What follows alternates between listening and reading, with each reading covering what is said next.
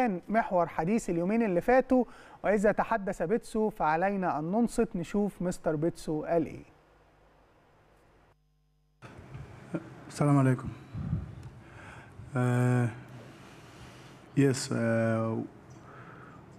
a big game again to play. تبقى مباراة واحدة فقط لنلعبها أعتقد أن كأس العالم للأندية بالنسبة لنا أو بالنسبة لأي ناد يمثل إفريقيا تعد ملحمية. كذلك هو الحال بالنسبة لفريق الهلال. الفريق كبير بطل آسيا الذي نكن له الكثير من الاحترام. الشيء الجيد لنا أنه لا يزال لدينا ما نلعب من أجله. ميدالية ننافس عليها. نحن نأمل أن نهدي إفريقيا ميدالية. كما فعلنا العام الماضي. بالطبع أردنا أن نفوز بميدالية مختلفة. لكن الوضع الحالي ألزمنا بالمنافسة على نفس الميدالية. يجب علينا أن نكون شاكرين لأنه لا زال لدينا تلك الفرصة حيث أنه ليس كل الفرق في إفريقيا في آخر موسمين لديها نفس الفرصة التي لدينا.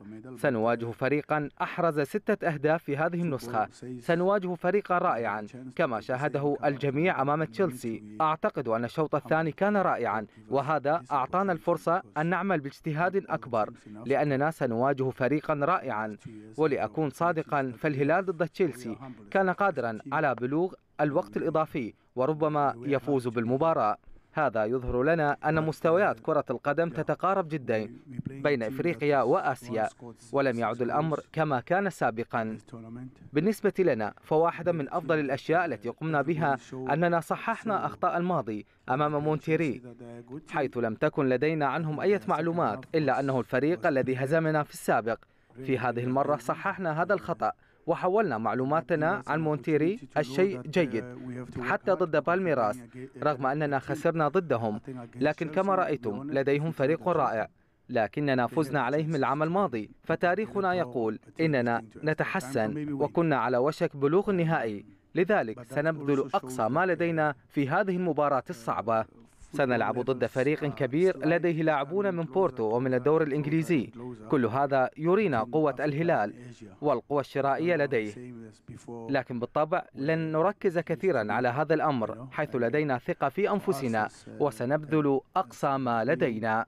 نحن بدأنا الشوط الثاني ضد بالميراس بشكل أفضل. كنا ثابتين وواثقين أكثر. إذا بدأنا المباراة بنفس الأداء الذي بدأنا به الشوط الثاني ضد بالميراس فسيكون لدينا فرصة أن نحرز شيئا.